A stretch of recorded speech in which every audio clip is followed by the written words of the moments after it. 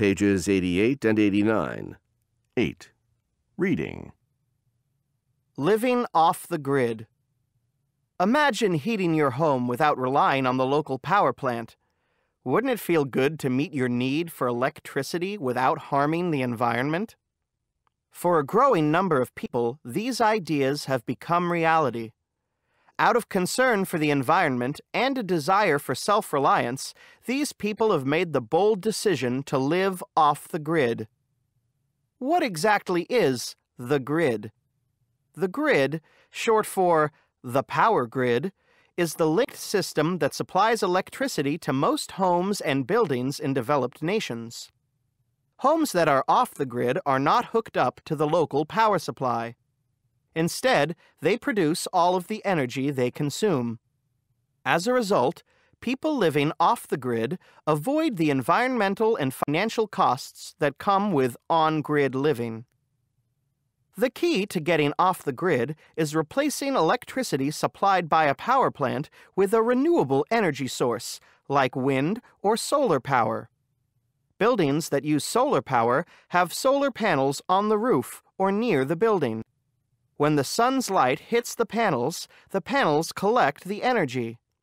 Wind power is collected by turbines, also known as windmills.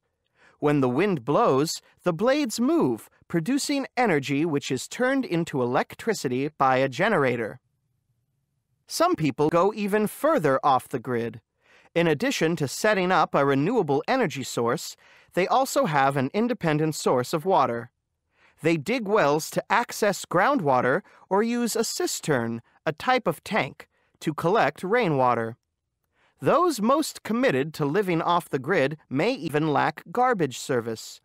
These people generally live a life that creates very little waste, growing their own organic fruits and vegetables and raising chickens and goats for eggs and milk. By avoiding the consumption of packaged foods, they greatly reduce paper and plastic waste. As challenging as it may be to live off the grid, most off gridders feel that the benefits far outweigh the difficulties. Jorge and Ella Alvarez, off gridders in northern Arizona, say, We love being off grid. It's definitely hard work, but it puts everything in life into perspective. It's surprising to find just how much you can do without. Many people think we have a harsh and depressing lifestyle. Nothing could be further from the truth. We see living off the grid as a gift that has allowed us to be more in touch with nature and each other. This view is shared by Wendy Johnston, a mother of three living off the grid with her family in Ontario, Canada. Wendy recalls In the house I grew up in, we would leave lights on all day, the thermostat up at night, and water running without a second thought. I wanted my children to be raised with more respect for the environment and an awareness of the impact that they have on it. My children don't take energy for granted. I love the fact that they are learning how to take care of the earth while at the same time learning to be self sufficient. Wendy admits that living off the grid has its difficulties. For example, the Johnston's power usually goes down a few times a year. However, Wendy reflects, the funny thing is that these often turn out to be some of our best times as a family. The power outages have an unexpected way of bringing us closer together. We read books and play games by candlelight, or we get together and tell stories. Living off the grid entails sacrifices and is certainly not for everyone. But for the thousands of people who have made this bold choice, life off the grid is filled with rewards that can't be matched by the conveniences and luxuries of life on the grid.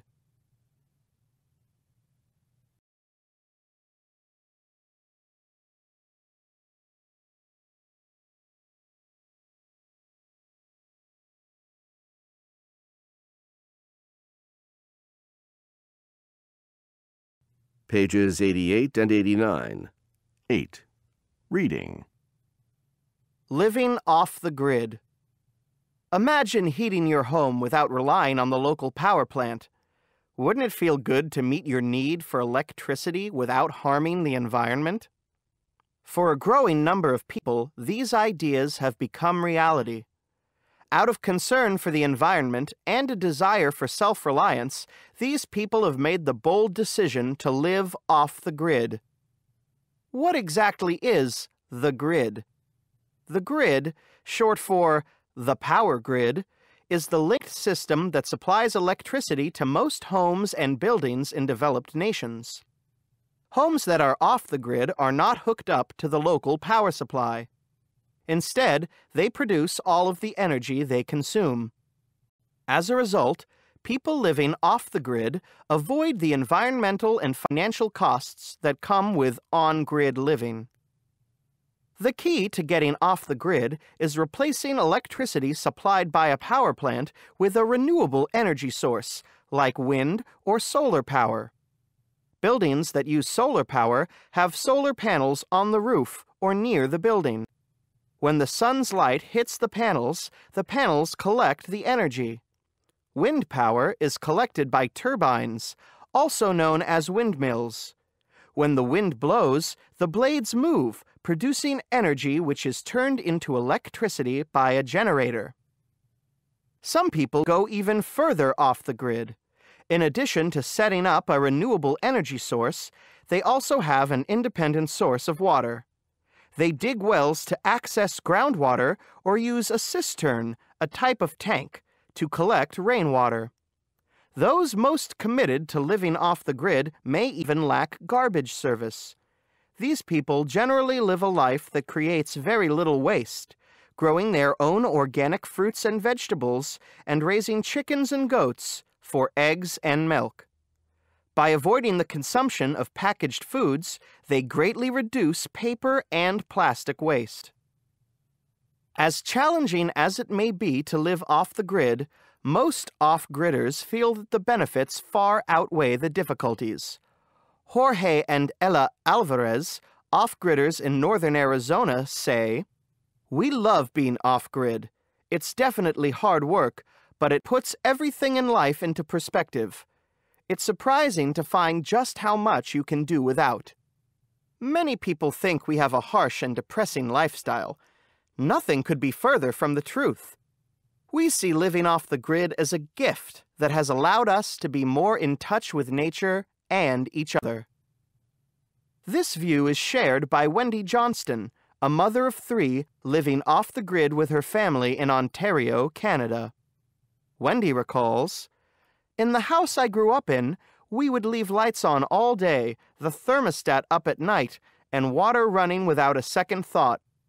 I wanted my children to be raised with more respect for the environment and an awareness of the impact that they have on it. My children don't take energy for granted.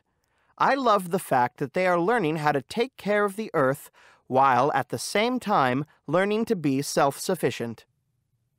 Wendy admits that living off the grid has its difficulties. For example, the Johnston's power usually goes down a few times a year. However, Wendy reflects, the funny thing is that these often turn out to be some of our best times as a family. The power outages have an unexpected way of bringing us closer together. We read books and play games by candlelight, or we get together and tell stories. Living off the grid entails sacrifices and is certainly not for everyone. But for the thousands of people who have made this bold choice, life off the grid is filled with rewards that can't be matched by the conveniences and luxuries of life on the grid.